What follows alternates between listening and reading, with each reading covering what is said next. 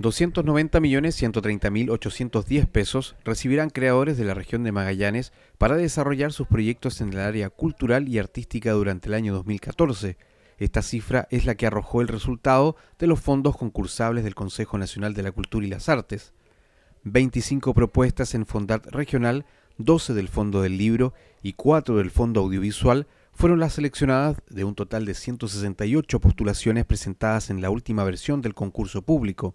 Entre los ganadores destacó la artista Andrea Pereda Negroni, cuya propuesta en artes escénicas y titulada Magallanes, Construcción a través del relato, en Fondart Regional se adjudicó un monto de 11.785.000 pesos. Es un proyecto de creación escénica que se basa en la investigación y en los relatos de cinco estancieros, como le dice su nombre, eh, de Magallanes que sufrieron los embates del terremoto blanco.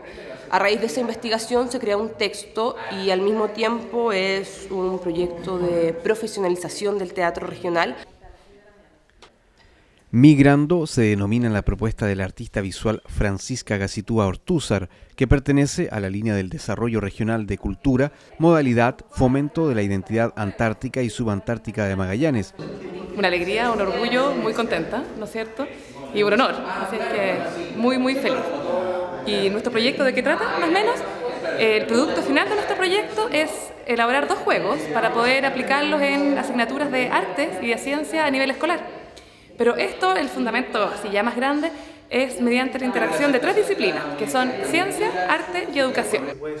Entre los ganadores del Fondo del Libro destacó la iniciativa de Alberto Aguilar, que considera una obra literaria titulada La caja vacía. Bueno, para mí haberlo ganado es, muy importante. Eh, bueno, una porque me permite la tranquilidad en, el sentido del, beneficio económico de poder eh, hacerlo con, más calma, ¿cierto? No, presionado, ¿cierto?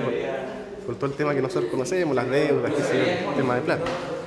Pero más, eh, más allá también de, lo económico, es también un, un, buen paso para, eh, eh, para seguir avanzando en, lo que es esto de la literatura.